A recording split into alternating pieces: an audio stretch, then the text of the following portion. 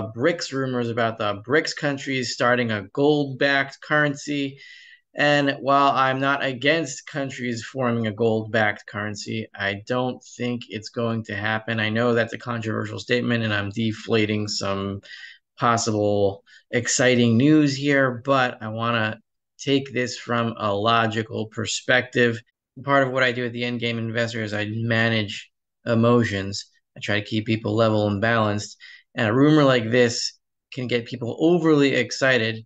And if it happens, it happens. And I'm not against it happening, but I'm going to try to explain here why it's probably not going to happen, at least as the gold and silver bugs are portraying it, or the excited ones are.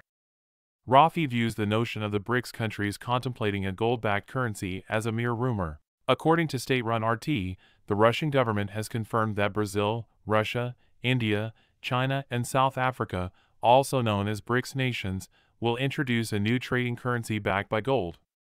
The official announcement is expected to be made during the BRICS summit in August in South Africa. Recently, in the context of currency value, Rafi states the belief that the quantity of gold held in a central bank's balance sheet does not influence its worth. During the interview, Rafi, a financial analyst and expert in the field of economics and precious metals, cited various instances of central banks engaging in cumulative sales, particularly during the collapse of the London gold pool in 1968 and the gold market surge in the late 1970s. The hefty sales we saw in 1967 were a consequence of this price peg coming under attack as investors piled into gold. The banks in question avoided this scenario by selling vast quantities of gold, around 2,000 tons in total over 1967-68.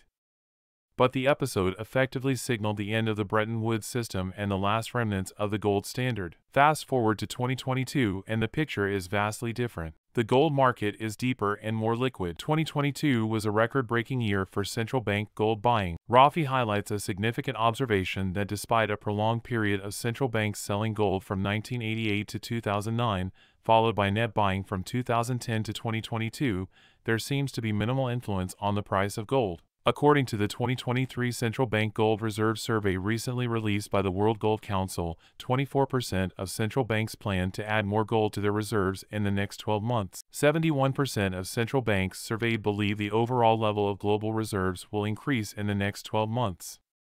That was a 10 point increase over last year. Rafi points to the Central Bank of Kazakhstan, which has been stockpiling gold since around 2004 but its currency's value against the dollar has declined over time. The National Bank of the Republic of Kazakhstan, NBK, is no exception, with its share of gold reserves now standing at 69% of total reserves. The increase in gold reserves has coincided with a decline in the value of the Kazakhstan currency, the tenge. In 2004, the tenge was worth around 4 cents. By 2022, the tenge had fallen to around 1 cent. Rafi analyzes that, Based on historical trends, central bank gold buying and selling will continue to have a limited effect on the overall price of gold. We will now bring you clips of Rafi Farber from his recent interview with Arcadia Economics. Before we proceed further in this video, please make sure to subscribe our channel and click the bell icon to stay updated. See here, going back to 1950, there has been more years of deeper cumulative sales from I think this is 1968 when the London gold pool collapses when the central banks were selling all these tons of gold to try to maintain uh, the the gold peg at $35 an ounce. Uh, that didn't work. 1968, 1969. Here's where the the gold the, the gold window was closed, so to speak. It's not closed because we can still exchange gold for dollars, but that's my uh, that's my thing, but this uh, colloquially, people say the gold window closed here, even though I disagree with that. But anyway, if you look at central bank gold sales and gold buying, we can see here in 1980, this is 1970, 78, 79, what, 77, 78, 79, 80, right? These four years is when gold was really bubbling. And three of those four years, central banks were selling gold at, uh, besides the, at, at the second highest rate ever, right? Going back to 1950. So uh, so yeah, central banks were, were selling gold here, 500 tons in 1979, and gold was was but was going crazy, was going vertical. Right? And here's 1980. Here's the gold top. Um, it, it topped in January 21st. So when central banks started buying again, that's when gold fell. Right. So I'm saying here that that that central bank gold buying does not really affect the price of gold that much. It doesn't seem to. Uh, so So here uh, we have again 1989 from 19 maybe it's 88, 80, 88 or 89 until uh, 2009 here. So for 20 years, yeah, 20 years straight, central banks were selling, and now we have uh, net buying from 2010 to 2022. That's 12 years. This is 20 years. This is 12 years. So they've sold a lot more gold than they've bought, right? Since um, let's say 1968 when the gold pool uh, collapsed. My point here with these charts is to show that central bank gold buying is overrated. It doesn't really matter. And that uh, the amount of gold on a central bank's balance sheet does not affect the currency's value. Why is that? Because these currencies are not convertible to gold. It's not like any of these countries' central banks are saying, "Well, you deposit gold with us, and we'll give you, or you, uh, and we will give you currency, or you deposit currency with us, we'll give you gold." It's not convertible. This is just a game that they're playing to manipulate exchange rates. Uh, so here we have the central bank of Kazakhstan.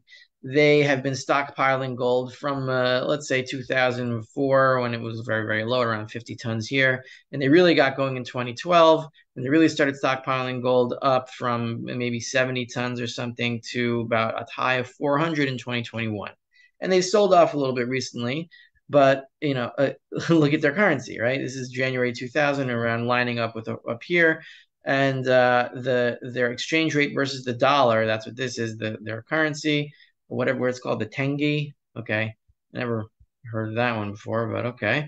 So it's up from, um, meaning down, from 141 in 2000 to 444 dollars per Tenge. So uh, it's it's fallen by uh, it's it's about a third of the strength that it used to be versus the dollar. So this uh, this gold stacking by the central bank it doesn't doesn't affect the currency because it's not convertible, right? It's just a gain. Farber highlights gold currency's convertibility importance and its potential advantages for BRICS nations. Gold considered by BRICS for international trade may prompt increased accumulation by central banks and individual investors. If its role as a global alternative currency grows, gold's price may also rise. Rafi notes a surge in the gold and silver mining sector, hinting at a possible new intermediate rally. However, he expects a minor pullback ahead. What makes the historical prescience of inverted yield curves so impressive is that the recessions that followed did so within a relatively short period. All nine recessions since 1955 have been preceded by an inverted yield curve according to research from the San Francisco Fed, except in one case. The time between an inverted yield curve and a recession has ranged from 6 to 24 months. As soon as the yield curve begins to invert, economists and investors begin to turn their heads. Keep in mind that the curve once again inverted in August 2022. Rafi foresees the next recession to be a banking crisis, citing the vulnerability of banks and their impending challenges. Let's get back to interview. Okay, we know that in order for a gold currency to actually work and be trusted as a gold currency, it's got to be convertible. If the BRICS countries are going to use this currency amongst themselves, then what happens. You have a, a gold currency versus their fiat currencies. Let's see, Brazil, uh, Russia, India, China, and South Africa. That's BRICS. They're all inflated. They're all inflate their money supplies. They all operate on a debt-based monetary system. Um, if they actually have a gold currency or trade in physical gold, if they just like ship the gold to each other, well, the reason to trade in a gold currency is so you don't have to do the shipping. It just makes it more efficient. And here we look at a uh, chart for FSM, look at yesterday's surge or two days ago's surge for people watching this now on Friday.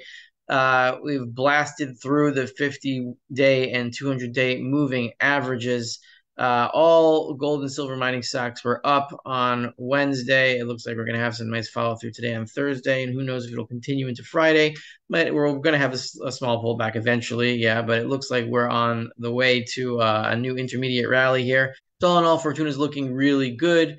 A lot of mid-tier gold and silver miners are looking really good right now. But anyway, the point here is that the low CPI inflation numbers might have marked the bottom of the yield curve inversion from the 10 year to the three month. This is the most extreme yield curve inversion, I think, since the late 70s or maybe ever. I'm not exactly sure because uh, this chart doesn't go back, but it doesn't matter if it's the most ever or if it's one of the most ever. So if the Fed is done hiking rates, and interest rates on the low end are starting to go down, then this inversion is going to start heading this way.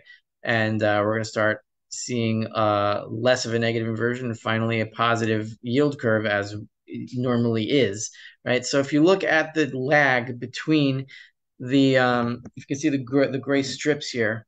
These are, you know, they indicate recession if you've seen a Fred chart before. Uh, so here we have a lag from when the yield curve inverted maximum in 1989 until the next recession in 1990 was 14 months. Here in 2000, um, it was it bottomed here, the yield curve inversion, the yield conversion top, the yield curve bottom.